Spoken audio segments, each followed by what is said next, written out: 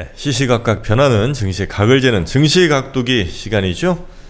아, 지금 댓글에서도 제발 각도기님이라도 좋은 소식 좀 전해주셨으면 좋겠다 이런 얘기가 좀 있는데 과연 좋은 소식을 갖고 오셨을지 각도기님 모시겠습니다. 반갑습니다. 네, 안녕하십니까 신한금융투자여도 증, 증시각도의 곽산준입니다. 네, 어떻게 어서 오세요. 네, 까치까치처럼 좋은 소식 좀 갖고 오셨을까요? 음, 지난 주말에 이제 한국 시장이 첫 번째로 미국 선물을 따라가지 않았다라는 점, 음, 그게 가장 특징적인 거죠. 네, 네, 사실은 우리가 한 달 앞선 미국의 미래이고 하니 어, 우린 잦아들고 있으니 그 부분 조금 반영해줬으면 좋겠다 하는 네네네. 생각을 했는데 아마 지난 주말 한국 시장에 처음으로 그런 흐름이 반영된 거. 다 이렇게 음, 보여주고요. 국민연금이나 기금, 연기금들이 이제 매수를 좀 하고 있어서 네, 외국인들 매도는 당분간 계속될 것 같습니다. 어쩔 수 없을 것 같고요. 음, 그걸 얼마큼 잘 받아내느냐의 문제인데 어, 일단 그 앞서 잠깐 여러 가지 얘기하셨습니다만 연결해서 얘기를 해보면 하일드 회사채 금리가 떨어지던 게 다시 살짝 올라요. 그러면 이건 무슨 말? 또 올라요?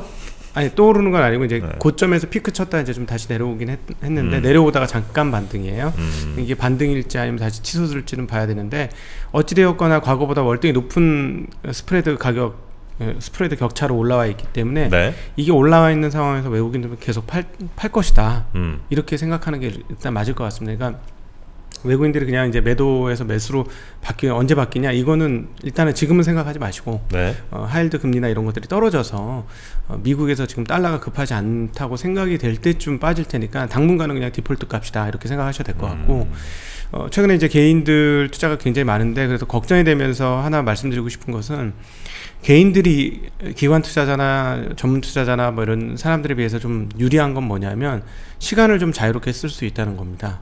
음, 개인이 기관에 비해서는 예, 예. 네. 근데 시간을 자유롭게 쓸 수 없게 만드는 게 하나 있어요.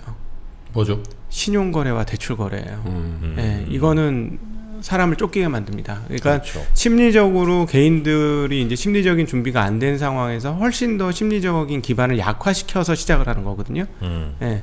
그래서 어, 저는 그 개인들 투자하시는 거는 괜찮은데 신용과 대출을 가지고 투자를 하시는 거는 어, 어, 혹시나 잘못돼서 떨어졌을 때 그냥 바로 궁지로 몰아넣습니다. 이번에 음. 어, 쭉 어, 기록적인 하락을 기록할 때도 음, 그냥 지금 가지고 계셨던 분들은 온몸으로 다 얻어맞았지만 조금 회복하고 아, 언제 좋아지지 이러고 있는데 신용을 많이 쓰신 분들은 그렇게 급락할 때 그냥 없어졌어요 계좌들이 음, 그냥 사, 사가 없어져 버렸어요. 네. 그러니까 신용과 대출 거래는 개인들은 절대 안 하시는 게 좋겠다라는 음. 말씀 다시 한번 드리고 싶습니다. 영업하시는 분으로서는 하기 어려운 얘기인데 저게 그게 영업의 가장 중요한 수익원이거든요. 예, 요즘 그렇게 바뀌었. 대출과 신용이. 아, 그래요? 예, 근데 어, 저는 개인적으로 이게 음. 아직 지금 모두가 모르는 게 저희 앞으로 이게 어떻게 펼쳐 지금 2주간 하이라이트 그 기간이 기다리고 있잖아요. 음, 예, 지금 이제 하이라이트 구간에 쫙 들어가서 빨리 꼭대기에서 이제 내려갔으면 좋겠는데 언제 내려갈지 모르겠으니까 2주간이니까 이 흐름 1월 말부터 2주가 아니라 맨날 2주야. 음? 아주 2주가 지겨워 죽겠어요. 맨날 앞으로 2주가 중요합니다, 여러분. 네, 이게- 그렇죠. 아, 우리 뭐 뉴스 같은 거 봐도 항상 아, 지금 저 곽 부장이 트럼프가 이렇게 얘기했어요. 네, 그 아, 얘기입니다. 트럼프 얘기. 네, 트럼프 얘기예요. 2주가 지금 제일 어렵다. 네, 이미 뭐 데이터가 있었겠죠. 데이터가 네네. 있었으니까. 근데 그때 그 말한 이후로 쭉쭉쭉 올라오거든요. 아, 지금 올라오고 있구나. 올라온다는 게 뭐 확진자? 네, 모든 숫자들이 네. 다 계속 늘고 있어요. 그래서 그 2주 지나서 과연 괜찮아질 것이냐. 음, 어, 그런 상황이고 그다음에 실물 경기 이게 계속 또 주고 받을 겁니다. 실물 경기 악화가 돼 이제 본격화되는 건데 이제 충격 안 받아요. 왜냐하면 훨씬 더 나쁠 거라고 생각하고 있고 실제로 앞으로 훨씬 4월 달치가 나오면 훨씬 나쁠 건데 3월 말치는 음, 아직 뭐 아직은 뭐 본격적으로 시작된 게 아니다 뭐 이렇게까지 생각을 하거든요. 실업률만 많이 뚜껑이 따졌지 다른 네. 것들은 이제 막 시작이니까 다 예상하고 있어요. 그래서 굉장히 안 좋게 나오는데 취업률 이런 것도 뚝뚝 떨어지거든요. 어 근데 이미 뭐 알고 있었어. 더 나빠질 걸? 다 이러고 있어요. 음. 그래서 그 부분까지는 반영이 시작이 되어 있고 음. 뭐 요번에 또 이제 미 누구야 그 하원 의장도 말 이야기를 했지만 네. 또 다른 이제 대응책들이 나올 것 같거든요. 음. 음, 분명히 나올 것 같습니다. 그래서 어, 그 대응이 나오고 근데 그 시장이 또 나빠져. 그러면 뭔가 또 대응이 나오려고 하겠죠. 그러니까 대응이라는 게 뭐 그 질병 관련된 대응이 아니면 금융시장의 대응? 그러니까 지금 하원 패키지지 뭐. 네 그 인프라 경기- 2조 달러 경기 부 양책이지. 예 인프라 2조 달러 얘기가 나왔으니까 뭐 더 쓸 게 뭐 있어요? 계속 쓰는 거죠. 계속 아, 쓸 그래요? 겁니다. 아마도. 어. 예, 계속 대응을 할 거고요.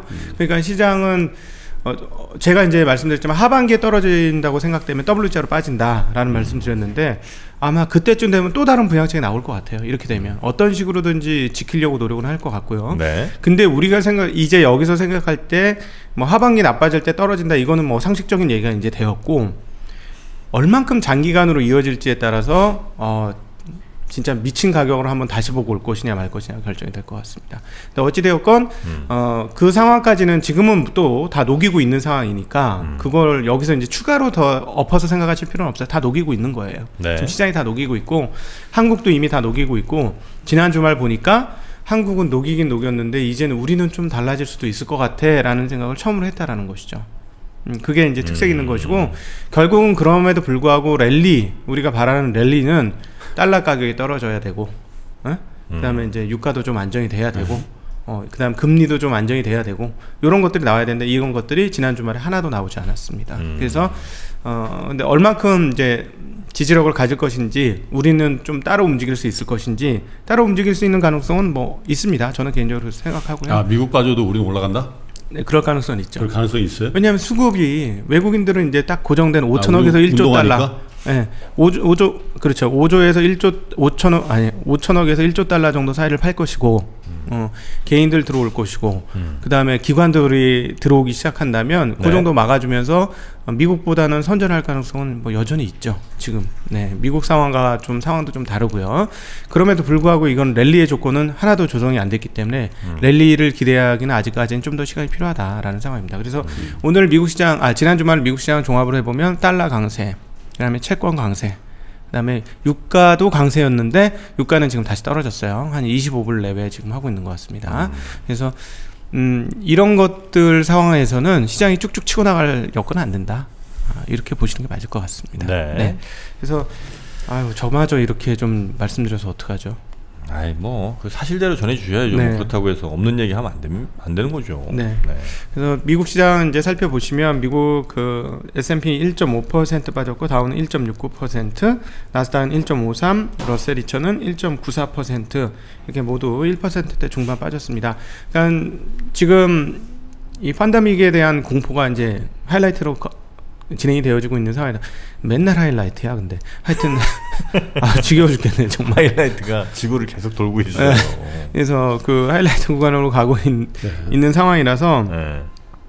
그 유가가 폭등했잖아요. 음. 그럼 올랐어야 되는데 그 하나도 그거는 반영이 안 된 거죠. 음. 네, 이 부분에 대한 두려움으로 두려움이 상당히 큰 건데 네. 그 중에 하나가 이제 취업률이었습니다. 취업률 잠깐 보고 들어가면 어, 실업률이 4.4% 나왔습니다. 이전에는 3.5% 예상은 3.8% 나왔는데요. 음. 어, 역시 예상보다는 많이 나왔는데 충격은 안 받아요. 이제 네. 음. 아직 아니잖아. 이거 아니잖아. 우리 우리 이거는 이미 과거의 음. 이야기잖아 하는, 음. 하는 건데 어, 그 비농업 부분 일자리가 70만이 줄었습니다.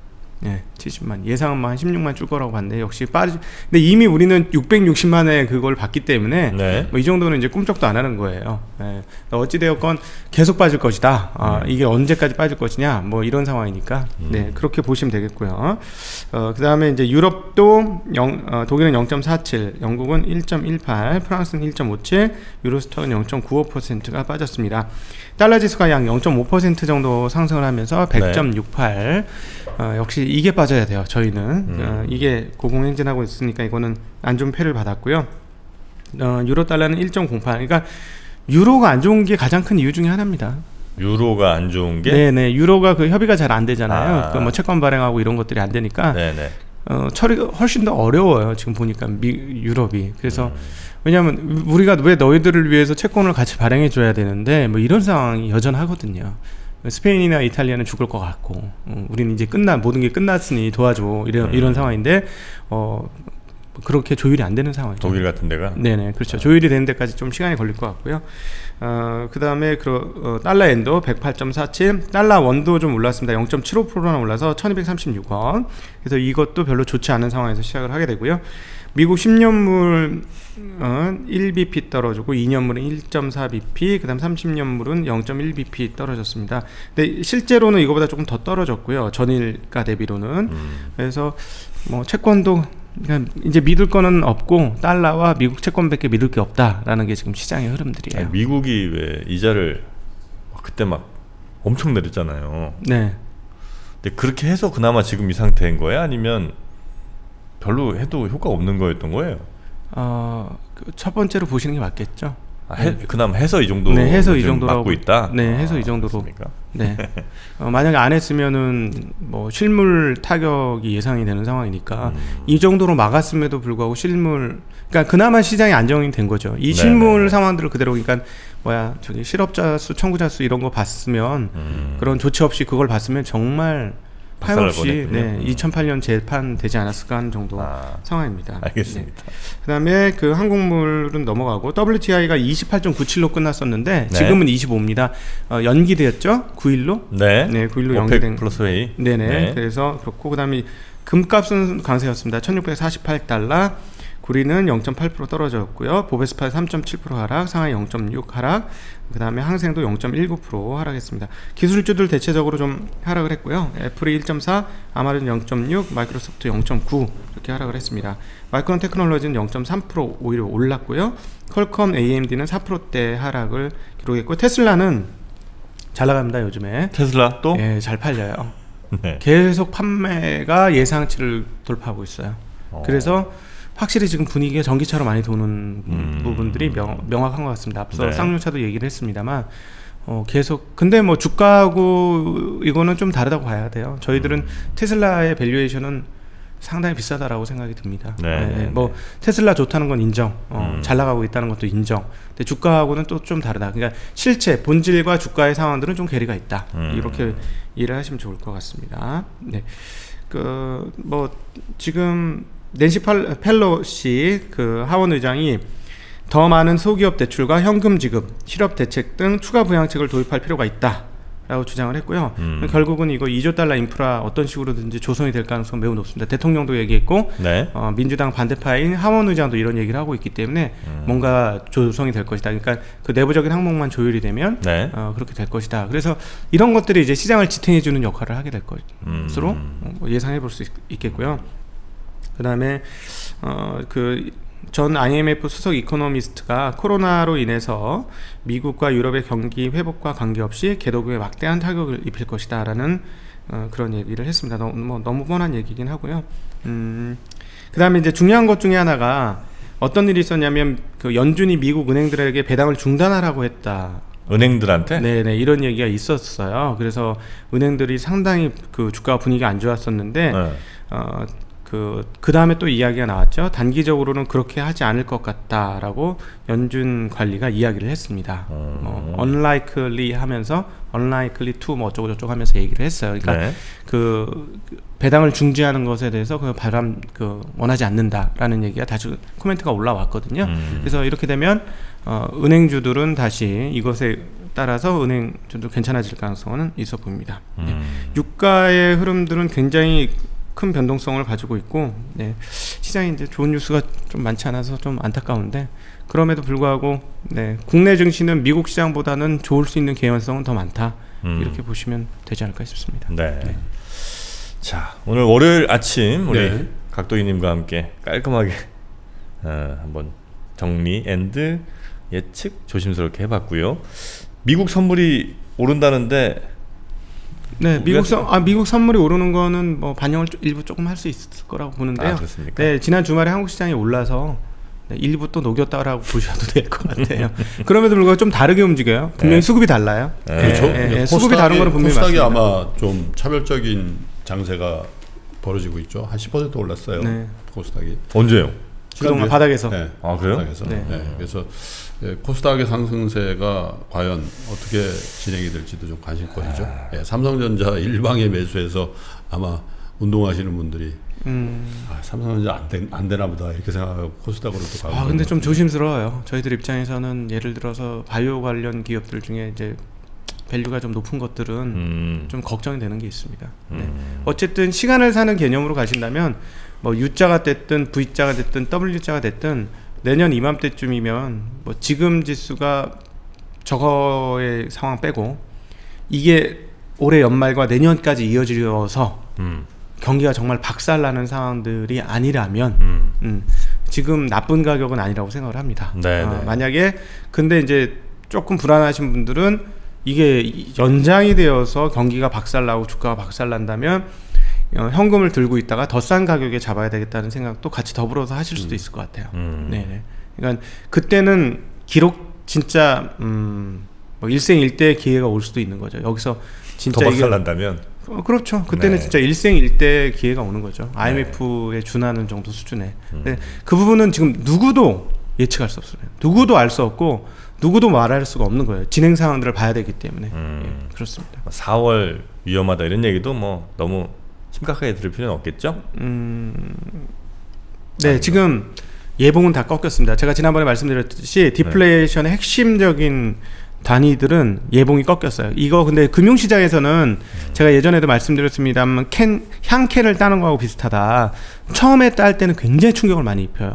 음, 금방 익숙해진다. 네, 근데 한 번 따고 나서 꺾이고 나면 그 다음부터는 희마리를 못 써요. 음. 네, 그러니까 어, 예봉이 꺾였잖아요. 네. 그래서 이것들은 이제 쉽사리 다시 올라가 그 아까 말씀드렸던 하일드나 이런 것들이 쉽게 올라가는 경우들은 별로 없습니다. 한 음. 번 꺾이고 나면 그냥 그 문제는 이제 이슈에서 좀 물러났다.